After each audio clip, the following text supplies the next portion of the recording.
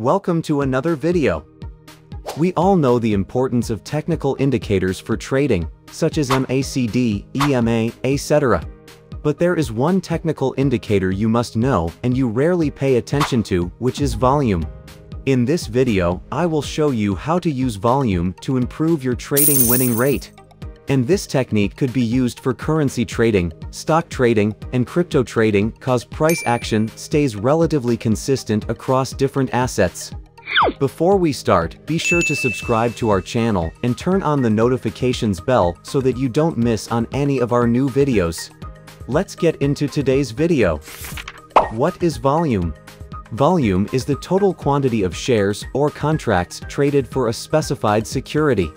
It can be measured on any type of security traded during a trading day. If the trading volume of a stock is high, it means the stock is gaining great market attention and can attract more capital inflows.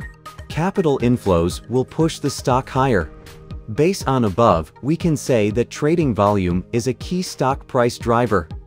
So how do we look volume on TradingView? On the TradingView, the volume is represented by vertical bars and the height of the bar represents the amount of volume. When we have tall bars, for example right here, that means we have a lot of volume. And when we have small bars, for example right here, that means we have relatively low volume. To see the exact amount of volume, you can hover over a specific candle. For example, you can see this day right here, Apple had a volume of around 113.453 million, while the previous day had a volume at around 81.235 million. The color of the volume bar will be the same color as the candle. So if we have a green candle meaning that the price have increased during the day, we will have a green volume bar. And if we have a red candle meaning that the price have decreased during the day, we will have a red volume bar.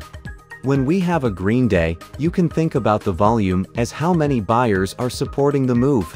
Or in other words, you can think about it as buying interest. However, when we have a red day, you can think about the volume as how many sellers are supporting the move or another way to think about it is selling interest. Now that we know the basic principles of volume, how can we use it to improve our trading winning rate? Let's start with trend. Here is a daily time frame on USD JPY. As you can see, here we have an impulsive move. Then we had a pullback which is a move against the direction of the trend. Then we have a next impulsive move. In this chart, you can actually use volume to determine the strength of the trend. Is this a strong trend, or is this a weak trend? In the uptrend, for example, see right here, you want to see an increase in volume. And you can see, when the price went up right here, we saw a strong increase in volume. When you have an uptrend and the price is pulling back, you can see the volume bars got smaller and smaller and the volume decrease.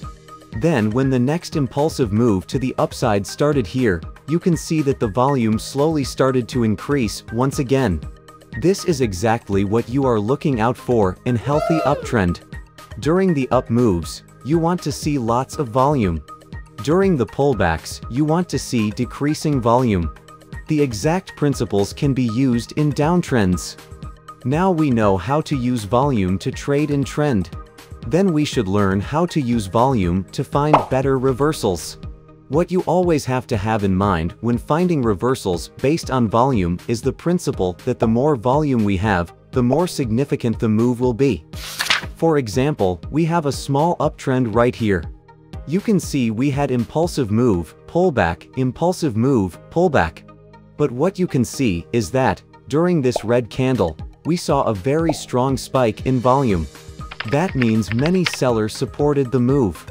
What you also can see with this particular candle, it was a candle with very long wick and short body. It was nearly a bearish shooting star. And the bearish shooting star indicates a potential reversal to the downside big volume bar, and bearish shooting star, it means many traders are agreeing that this is a valid bearish pattern. It increases the likelihood of an eventual reversal to the downside. In this example, after this red candle, the uptrend did not transform right to a downtrend. But green bars got smaller and smaller which meant buying interest got weak. it still predicted the end of the uptrend. So these are the strategies about how to use volume to trade in trend and reversal. But there's still two rarely known strategies about volume. In next video, I will tell you more strategies about it. Be sure to subscribe my channel and don't miss it.